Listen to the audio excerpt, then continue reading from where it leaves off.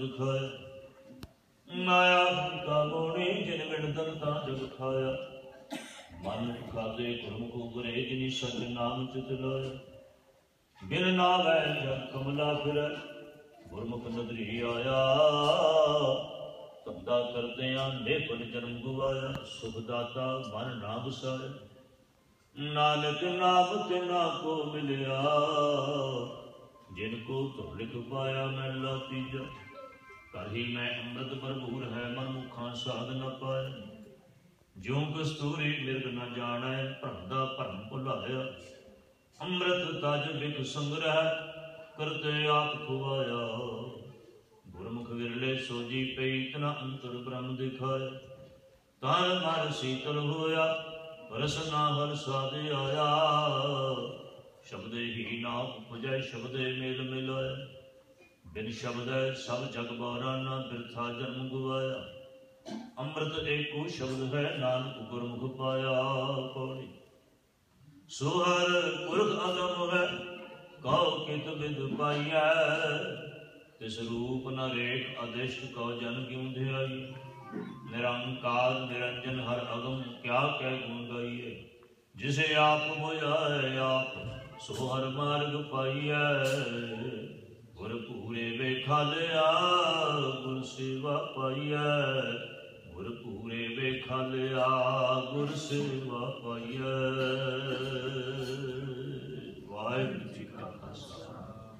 ਵਾਹਿਗੁਰੂ ਜੀ ਕੀ ਫਤਿਹ। ਪਰਮ ਸਿੱਖਾਈ ਸਤਿ ਜੀ।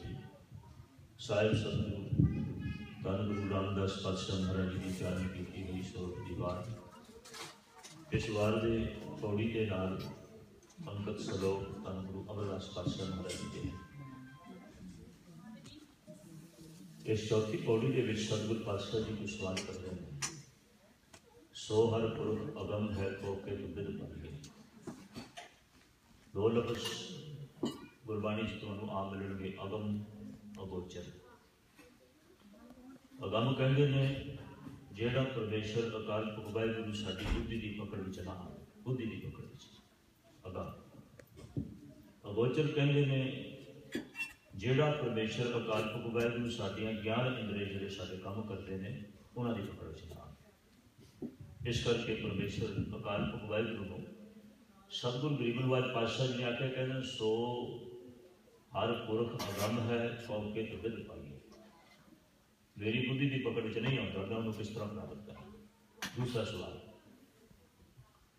ਅਗਲਾ ਸਵਾਲ ਕਰ ਦਿੱਤਾ ਕਹਿੰਦੇ ਤਿਸ ਰੂਪ ਨਾ ਰੇਖ ਅਦਿਸ਼ਟ ਕੋ ਜਨ ਕਿਉਂ ਧਿਆਈਏ ਉਹਦੀ ਕੋਈ ਰੂਪ ਰੇਖਾ ਨਹੀਂ ਉਹਦੀ ਕੋਈ ਸ਼ਕਲ ਸੂਰਤ ਨਹੀਂ ਮੈਂ ਉਸ ਨੂੰ ਕਿਦਾਂ ਧਿਆਵਾਂ ਇਸ ਕਰਕੇ ਪਰਮੇਸ਼ਰ ਉਸ ਅਕਾਲ ਪੁਰਖ ਵਾਹਿਗੁਰੂ ਨੂੰ ਮੈਂ ਕਿਸ ਤਰ੍ਹਾਂ ਯਾਦ ਕਰਾਂ ਮੈਂ ਉਹਨੂੰ ਕਿਸ ਤਰ੍ਹਾਂ ਮੈਂ ਉਹਦੀ ਆਰਾਧਨਾ ਕਿਸ ਤਰ੍ਹਾਂ ਕਰਾਂ ਤੇ ਸਤਿਗੁਰੂ ਗਰੀਬਨਵਾਜ ਪਾਤਸ਼ਾਹ ਜੀ ਨੇ ਆਖਿਆ ਕਹਿਣ ਲੱਗੇ ਉਸ ਦੀ ਆਰਾਧਨਾ ਕਰਨ ਵਾਸਤੇ ਮੈਂ ਪੰਕਤੀਆਂ ਅਖੀਰਲੀਆਂ ਤੱਕ ਜਾਣਾ ਚਾਹੁੰਦਾ ਹਾਂ ਉਹ ਕਹਿੰਦੇ ਨੇ ਗੁਰੂ ਨੇ ਇੱਕ ਰਸਤਾ ਦਿਖਾਇਆ ਕਹਿੰਦੇ ਗੁਰ ਪੂਰੇ ਵੇਖਾ ਲਿਆ ਗੁਰ ਸੇਵਾ ਪਾਈ। ਗੁਰੂ ਨੇ ਇੱਕ ਰਸਤਾ ਦੱਸਿਆ।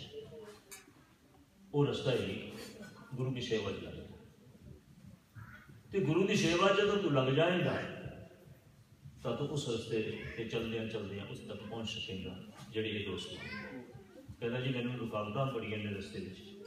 ਉਹ ਰੁਕਾਵਟਾਂ ਜਿਹੜੀਆਂ ਨੇ? ਦੋ ਸ਼ਲੋਕ ਨੇ ਪਹਿਲੇ। ਉਹਨਾਂ ਦੋਵਾਂ ਸ਼ਲੋਕਾਂ ਦੇ ਕਹਿੰਦੇ ਪਹਿਲੀ ਰੁਕਾਵਟ ਹੈ ਮਹਾਰਾਜ ਮੈਂ ਉਸ ਗੁਰੂ ਦੀ ਸੇਵਾ 'ਚ ਕਿਉਂ ਨਹੀਂ ਲੱਗ ਪਾਉਂਦਾ ਮੈਨੂੰ ਗੁਰੂ ਦੀ ਸੇਵਾ ਵਿੱਚ ਲੱਗਣ ਵਿੱਚ ਮੈਨੂੰ ਕੀ ਰੁਕਾਵਟ ਆ ਰਹੀ ਹੈ ਮੈਨੂੰ ਕੀ ਮੁਸ਼ਕਲ ਪੈ ਰਹੀ ਹੈ ਉਹ ਕਹਿੰਦੇ ਨੇ ਰੁਕਾਵਟ ਆ ਰਹੀ ਹੈ ਮੈਨੂੰ ਦਾ ਮੋੜ ਹੀ ਜਿਹਨੇ ਬਿੰਦ ਦਾ ਜਲ ਪਾਇਆ ਕਹਿੰਦੇ ਇਸ ਮਾਇਆ ਨੇ ਮੈਨੂੰ ਰੋਕ ਪਾ ਕੇ ਰੱਖੀ ਹੋਈ ਤੇ ਹੁਣ ਉਸ ਰੁਕਾਵਟ ਨੂੰ ਦੂਰ ਕਿਸ ਤਰ੍ਹਾਂ ਕੀਤਾ ਜਾਏ ਕਹਿੰਦੇ ਕਿਉਂ ਰੁਕਾਵਟ ਪਾਈ ਉਸ ਨੇ ਦੂਸਰਾ ਸ਼ਲੋਕ, ਸਤਿਗੁਰੂ ਪਾਤਸ਼ਾਹ ਜੀ ਕਹਿੰਦੇ ਨੇ, ਇਸ ਕਰਕੇ ਰੁਕਾਵਟ ਪਾਈ ਹੋਈ ਹੈ, ਕਿਉਂਕਿ ਮਨੁੱਖ ਭਰਮ ਵਿੱਚ ਹੈ, ਭੁਲੇਖੇ ਵਿੱਚ ਹੈ।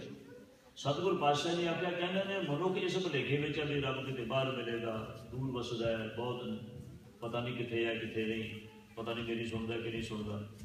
ਇਸ ਕਰਕੇ ਮਨੁੱਖ ਹੋਰ ਕਈ ਭੁਲੇਖਿਆਂ ਵਿੱਚ ਹੈ, ਤੇ ਬਾਕੀ ਦੇ ਭੁਲੇਖਿਆਂ ਵਿੱਚੋਂ ਨਾਲ ਦੀ ਨਾਲ ਉਹ ਇਹ ਵੀ ਜਾਣ ਇਹ ਵੀ ਇਸ ਗੱਲ ਦੇ ਭੁਲੇਖੇ ਵਿੱਚ ਵੀ ਹੈ ਕਿ ਪਰਮੇਸ਼ਰ ਅਕਾਲ ਪੁਰਖ ਵਾਹਿਗੁਰੂ ਜਿਹੜਾ ਹੈ, ਉਹ ਪਤਾ ਨਹੀਂ ਮਿਲਣ ਦੀ ਬੜੀ ਕਠਿਨਾਈ ਹੁੰਦੀ ਹੈ। ਮਿਲ ਹੀ ਨਹੀਂ ਸਕਦਾ ਜੀ। ਬੜਾ ਔਖਾ ਉਹਨੂੰ ਮਿਲਣਾ। ਇਹ ਸਾਰੀਆਂ ਭੁਲੇਖੇ ਨੂੰ ਮਨੁੱਖ ਨੂੰ ਪਏ ਹੋਏ ਨੇ। ਤੇ ਸਤਿਗੁਰੂ ਪਾਤਸ਼ਾਹ ਜੀ ਨੇ ਆਖਿਆ, ਕਹਿਣ ਲੱਗੇ, ਕਹਿੰਦੇ ਨੇ ਮਨੁੱਖ ਨੂੰ ਇਹ ਇਹ ਗੱਲ ਦਾ, ਇਸ ਗੱਲ ਦਾ ਅਹਿਸਾਸ ਨਹੀਂ। ਇਸ ਗੱਲ ਦਾ ਚੇਤਾ ਨਹੀਂ ਕਿ ਉਹ ਵਾਹਿਗੁਰੂ ਮੇਰੇ ਹਮੇਸ਼ਾ ਨਾਲ ਹੈ। ਇਸ ਗੱਲ ਦਾ ਅਹਿਸਾਸ ਨਹੀਂ ਕਰਦਾ ਬੰਦਾ। ਕਿ ਵਾਹਿਗੁਰੂ ਤੋਂ ਦੂਰ ਹੋ ਹੀ ਨਹੀਂ ਸਕਦਾ। ਉਹ ਸਾਤੋਂ ਦੂਰ ਕਿਵੇਂ ਹੋ ਸਕਦਾ? ਦੂਰ ਉਹ ਚੀਜ਼ ਹੁੰਦੀ ਹੈ ਜਿਹੜੀ ਸਾਡੇ ਤੋਂ ਨਵੇਕਲੀ ਹੋਵੇ ਦੂਰ ਹੋ, ਪਾਸੇ ਪਰ ਉਹ ਤੇ ਕਿਤੇ ਨਿਵੇਕਲਾ ਹੈ ਹੀ ਨਹੀਂ ਉਹ ਤੇ ਹਰ ਥਾਂ ਵਸਦਾ ਜੇ ਹਰ ਥਾਂ ਵਸਦਾ, ਜਿੱਥੇ ਅਸੀਂ ਜਾਂਦੇ ਹਾਂ, ਉਹ ਉਹ ਪਹਿਲਾਂ ਵਸਦਾ ਸਾਡੇ ਕੋਲੋਂ, ਫਿਰ ਸਾਡੇ ਕੋਲ ਦੂਰ ਕਿਸ ਤਰ੍ਹਾਂ ਹੋਇਆ? ਇਸ ਕਰਕੇ ਸਤਿਗੁਰ ਪਾਤਸ਼ਾਹ ਜੀ ਨੇ ਆਖਿਆ, ਕਹਿਣ ਲੱਗੇ, ਮਨੋ ਗੁਰੂ ਆਈ ਭਲੇਖਾ ਸੀ, ਕਹਿੰਦੇ ਘਰ ਹੀ ਮੈਂ ਅੰਮ੍ਰਿਤ ਭਰਪੂਰ ਹੈ। ਮਨਮੁਖਾ ਸਾਧ ਨਾ ਆ ਇੱਕ ਭਲੇਖਾ ਜਿਹਾ ਸੀ, ਇਸ ਭਲੇਖੇ ਕਰਕੇ ਕਹਿੰਦੇ ਨੂੰ ਦੂਰ ਹੀ ਜਾਣਦਾ ਰਿਹਾ। ਉਹਨੂੰ ਦੂਰ ਹੀ ਸਮਝਦਾ ਰਿਹਾ। ਜਪਜੀ ਸਾਹਿਬ ਦੀਆਂ ਪੰਕਤੀਆਂ ਪੜ੍ਹਦੇ ਹੋ ਨਾ ਤੁਸੀਂ ਸਾਰੇ? ਸਤਿਗੁਰ ਪਾਤਸ਼ਾਹ ਜੀ ਨੇ ਇਹਨਾਂ ਪੰਕਤੀਆਂ ਵਿੱਚ ਆਖਦੇ ਕਹਿੰਦੇ ਨੇ ਗਾਵੇ ਕੋ ਜਾਂਦਾ ਦਿਸੈ ਦੂਰ ਬੜੇ ਗਾਉਂਦੇ ਨੇ ਤੈਨੂੰ ਪਰ ਗਾਉਂਦੇ ਜ਼ਰੂਰ ਨੇ ਪਰ ਨਾਲੇ ਵੀ ਇਹ ਵੀ ਕਹਿੰਦੇ ਨੇ ਬੜੀ ਦੂਰ ਹੈ ਪਰ ਬੜੇ ਕੁਝ ਐਸੇ ਵੀ ਗਾਣ ਵਾਲੇ ਨੇ ਉਹ ਕਹਿੰਦੇ ਤੂੰ ਦੂਰ ਨਹੀਂ ਹੈ ਉਹ ਬਿਲਕੁਲ ਨਹੀਂ ਗਾਵੇ ਕੋ ਜਾਪੈ ਦੱਸਿਆ ਦੂਰ ਗਾਵੇ ਕੋ ਵੇਖਿਆ ਆਦਰਾ ਹਜ਼ੂਰ ਕੋਈ ਤੈਨੂੰ ਗਾਉਂਦੇ ਨੇ ਪਰ ਗਾਉਂਦੇ ਇਸ ਤਰ੍ਹਾਂ ਗਾਉਂਦੇ ਨੇ ਨਹੀਂ ਤੂੰ ਸਾਡੇ ਨਾਲ ਹੈ, ਤੂੰ ਦੂਰ ਨਹੀਂ ਇਸ ਕਰਕੇ ਵੀ ਤੈਨੂੰ ਆਪਣੇ ਨਾਲ ਸਮਝ ਕੇ ਤੈਨੂੰ ਗਾ ਰਹੇ ਹਾਂ ਤੈਨੂੰ ਨਾਲ ਸਮਝ ਕੇ